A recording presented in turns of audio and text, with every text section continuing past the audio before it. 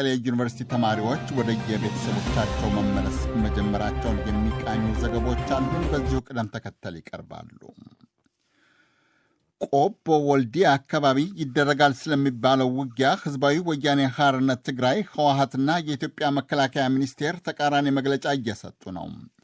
የህወሀት ጦር አዛዦች ሰሞኑን በሰጡት መግለጫ ተዋጊዎቻቸው ቆቦ ከተማን ጨምሮ የተለያዩ የአማራና የአፋር ክልል አካባቢዎችን መቆጣጠራቸውን አስታውቀዋል። የኢትዮጵያ መከላከያ ሚኒስቴር ዛሬ እንዳስታወቀው ግን መከላከያ ሰራዊት ራሱን ከመከላከል ውጭ እስካሁን ድረስ መንግስት ያወጀውን የተናጠል ተኩስ አቁም እንዳከበረ ነው። ይሁንና የመቀሌው ዘጋቢያችን ሚሊዮን ኃይለሥላሴ የህወሀት ጦር አዛዦችን ጠቅሶ እንደዘገበው ህወሀት በአማራና በአፋር ክልሎች ድል በማግኘቱ የኃይል ሚዛኑን የበላይነት ተቆጣጥሯል። የመከላከያ ሚኒስቴር ቃል አቀባይ ኮሎኔል ጌትነት አዳነ ለአዲስ አበባ ወኪላችን ለስዩም ጌቱ እንደነገሩት ግን የህወሀት አማራና አፋር ክልልን ተቀዳጀሁ ያለውን ድል ከሰርጎ ገብ ዘረፋ ያልዘለለ በማለት አጣጥለውታል። ከመቀሌና ከአዲስ አበባ የደረሱን ዘገቦች አሉ። በየተራ እናሰማችኋለን። ከሚሊዮን ኃይለሥላሴ ከመቀሌን ጀምር። ጀነራል ታደሰ ወረደ በትግራይ እናቶች ስም በተጀመረ ዘመቻ ከሐምሌ 14 ቀን 2013 ዓ ም ጀምሮ በሦስት ግንባሮች ጦርነት ሲደረግ መሰንበቱ አስታውቋል። በትግራይ ምዕራብ በኩል አዲ አርቃይ፣ በደቡብ በኩል ቆቦ እንዲሁም በአፋር የተለያዩ አካባቢዎች የትግራይ ኃይሎች ከኢትዮጵያ መከላከያ ሰራዊት የአማራና የኦሮሞ ታጣቂዎች ጨምሮ የተለያዩ የኢትዮጵያ ክልል ልዩ ኃይሎች የተሳተፉበት ለቀናት የዘለቁ ጦርነቶች ተካሂደው የትግራይ ኃይሎች ድል እንደቀናቸው ጀነራል ታደሰ ወረደ ተናግረዋል። እንደ ዋና አዛዡ ገለጻ በአሁኑ ወቅት ቆቦ ከተማ ጨምሮ የተለያዩ የአፋር ክልል አካባቢዎች፣ ሌሎች የአማራ ክልል የገጠርና ከተማ አካባቢዎች በትግራይ ኃይሎች ቁጥጥር ስር ላይ ናቸው። ጠላት ባሏቸው የኢትዮጵያ ኃይሎች ላይ ከፍተኛ ኪሳራ መድረሱ የሚናገሩት ጀነራል ታደሰ ወረደ በርካታ ከባድና ቀላል የሚባሉ የጦር መሳሪያዎች ከመማረኩ በተጨማሪ የኃይል ሚዛኑም ወደ ትግራይ ኃይሎች ያደላ መሆኑ ተናግረዋል። በፂናሉ ዘለና ደረጃ ተተኽእሎና ተኽእሎ ጸላእን ከሎ ናይ ጸላይ ደርሰንበት ያለው ደረጃ የወገን የማድረግ ችሎታና የጠላት የማድረግ ችሎታ ሲነጻጸር የጠላት የማድረግ ችሎታ ያለው አቅም የጠፋበት ሁኔታ ነው ያለው። ጠላት የፈረሱ ክፍለ ጦሮችን ዳግም ለማደራጀት እየሞከረ ነው። በመሰረቱ ግን ዋናው ኃይሉ ተመቷል። አሁን በተጨባጭ ባለንበት ሁኔታ በዚህ ቦታ አቆማቸዋለሁ ብሎ የሚተማመንበት ወይም የሚመካበት ኃይል የለም። እዚ ዝበሃል ተኣማሚኖ እዚ ቦታ እዚ ደው ከብሎም የሕልፎምን ኢሉ ዝምክረሉ ሓይሊ የለን። ከዚህ በተጨማሪ የትግራይ ኃይሎች ዋና አዛዥ ጀነራል ታደሰ ወረደ የኢትዮጵያ መንግስት ሚሊሻዎች ጨምሮ የተለያዩ የማህበረሰብ ክፍሎች ለጦርነት የመማገድ ፍላጎት አለው ያሉ ሲሆን ከዚህ ውጭ ደግሞ የተለያዩ ልሂቃን ከዚህ በተቃራኒ መቆማቸው አስረድተዋል። ኣምሓራ ሚሊሻ ሕዚ ውጋኽቱት የብሎ ለውጡ ምድዕ እዚ መፂኦም ነብሩ ተበቲኖም ከዚህ በፊት መጥተው የተበተኑ የአማራ ሚሊሻዎች ለማክተት አሁንም እየጣሩ ነው። ገበሬ ጭምር በጦርነት የመማገድ ፍላጎት ነው ያለው። ይህ እንዳይሆን የሚያወግዙ የኦሮሞ ጨምሮ የሶማሌ፣ ደቡብ፣ ሲዳማ ፖለቲከኞች ከነሱ ኃይል ወደ ትግራይ እንዳይዘምት በትግራይ ህዝብ ላይ እየደረሰ ያለው ጥቃት አካል እንዳይሆኑ የሚቻላቸው ጥረት እያደረጉ ነው። ይህ እውቅና ሊሰጠው ይገባል። ከይኸውን ዝከኣሎም ፃዕሪ ይገብሩ ኣለዉ እዚ ኣፍልጦ ዝግብኦ ጽቡቅ ስራሕ ዝስራሕ ዘሎ ይመስለኒ። ለ DW ዘገባ ሚሊዮን ኃይለ ሥላሴ መቐለ። የኢትዮጵያ መከላከያ ሚኒስቴር ቃል አቀባይ ኮሎኔል ጌትነት አዳነ ግን መከላከያ ሰራዊቱ ዝግጅቱ ከሸማቂው የህወሀት ቡድን የሚሻገር ነው ብለዋል። ስዩም ጌቱም ዝርዝር ዘገባ አለው። ስለ ጦርነት ቀጠናው አሁናዊ ሁኔታ በተለይም ለዶችቬሌ የተናገሩት የኢፌዴሪ መከላከያ ሚኒስቴር ቃል አቀባይ ኮሎኔል ጌትነት አዳኔ እስካሁን የሀገር መከላከያ ሰራዊት ወደ ጦርነቱ የማጥቃት ዘመቻ አለመግባቱን ይናገራሉ። መንግስታችን የተናጥል ተኩስ አቁም አውጇል። መከላከያ ሰራዊትም የፌዴራል አንድ ትልቅ ተቋም ነው። በዚህ አዋጅ መሰረት ነው እየተንቀሳቀሰ ያለው። መከላከያ ተኩስ አቆመ ሲባል ከቃላትም ተኩስ ጭምር ነው።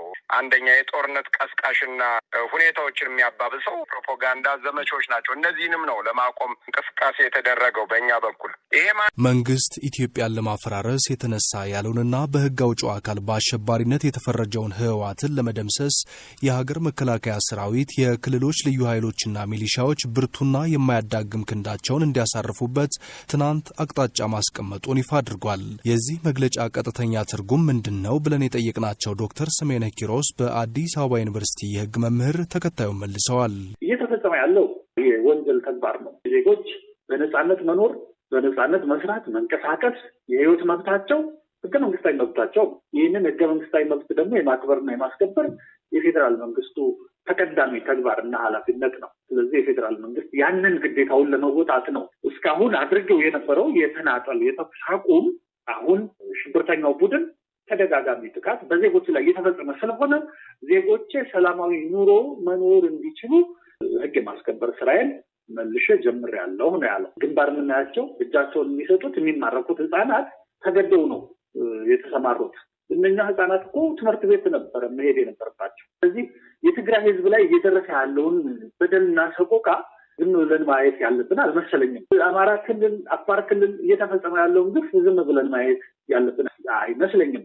የፌዴራል መንግስት እኮ እያለ ያለው ይሄንኑ ነገር ነው። በቃ ይሄ ነገር ማዳገም የለበትም። ከዚህ በኋላ ነቅለን ጥለን በቀጥታ መደበኛ ኑሯችን መቀጠል አለብን። በመግለጫው በሴራ ተጠንስሶ በጥፋት ያደገ በሚል የተገለጸው ህወሓት አሁን እየከፈተ ያለው ጥቃት ህዝባዊ መልክ እንዲይዝ በማድረግ ስለሆነ መመከት የሚገባውን በዚያው አግባብ መሆኑ ተገልጿል። የቀድሞ የኢትዮጵያ ሰራዊት አባል የሆኑት ሻለቃ ታመነ አባተ የመግለጫውን ምንነት ከወታደራዊ ምልከታ አንጻር አስረድተዋል። ይህ ተኩስ አቁም በተናጠል በመሆኑ በነዛ በኩል ተግባራዊነት አላገኘም። ተግባራዊነት ባለማግኘቱ ምክንያት more ለነሱ እንደ advantage ቆጠሩትና ለህዝብ የተሰጠ የጥሞና ጊዜ መሆኑን ረግጠው አለፉትና ሌላውን ማህበረሰብ በአማራ ክልል፣ በአፋር ክልል ማጎሳቆል፣ መግደልና ሌሎች እርምጃዎችንም ወደ መውሰድ ተሸጋገሩ። ከማጥቃትም አልፎ ከባድ መሳሪያ መወርወር በመጀመሩ ምክንያት ምን ማለት ነው? በወታደራዊ አነጋገር ሙሉ በሙሉ መከላከያ ውጊያ ውስጥ በማጥቃትም በመከላከልም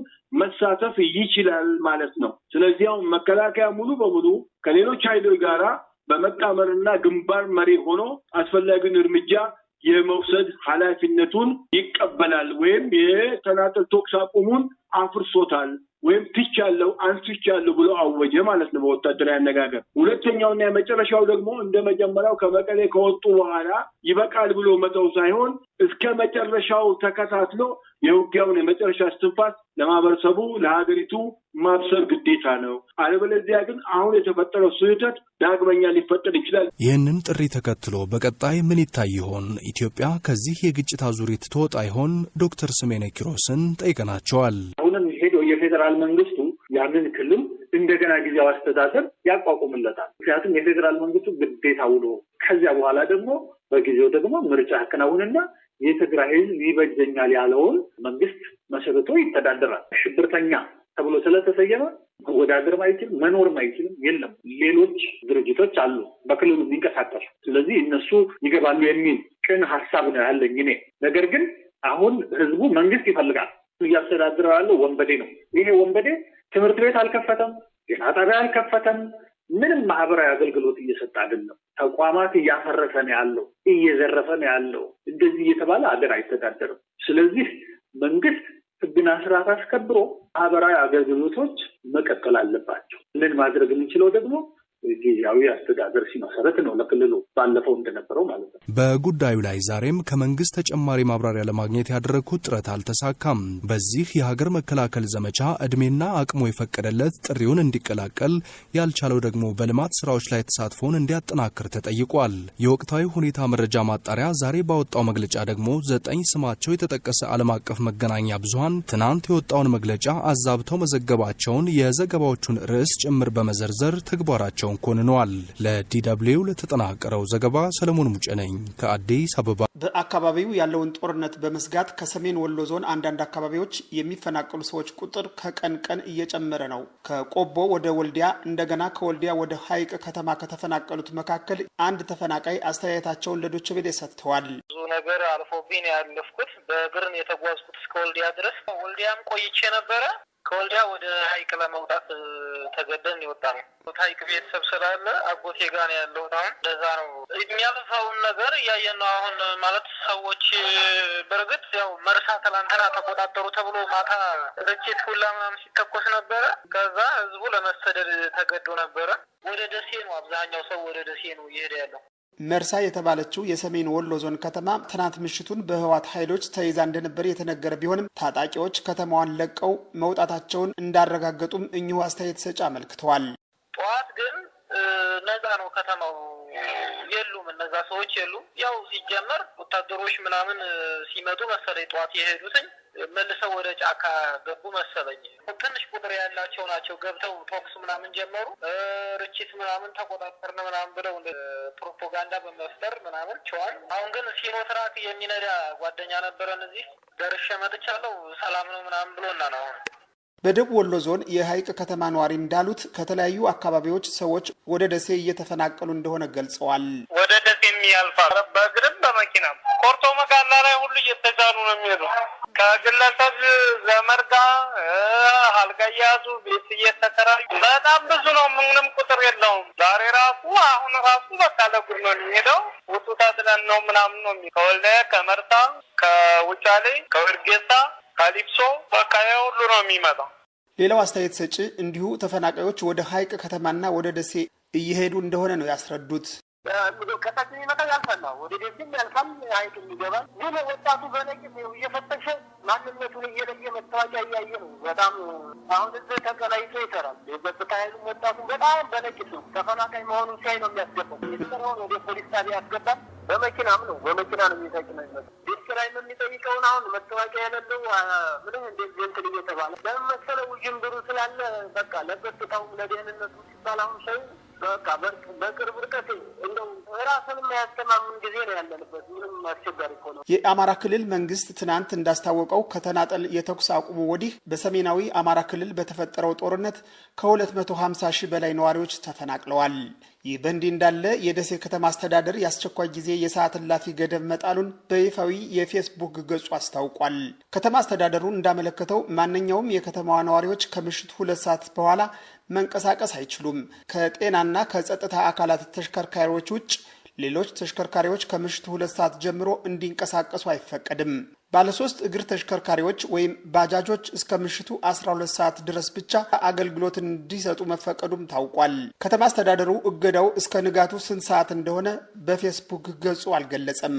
በወልዲያና አካባቢው ያለውን አሁናዊ ሁኔታ ለማወቅ ያደረግኩት ጥረት በአካባቢው የስልክ ግንኙነት ባለመኖሩና የመንግስት አካላት ደግሞ ስልክ ማንሳት ባለመቻላቸው አልተሳካልኝም። አለም ነው መኮንን ለዶች ቬሌ ራዲዮ ባህር ዳር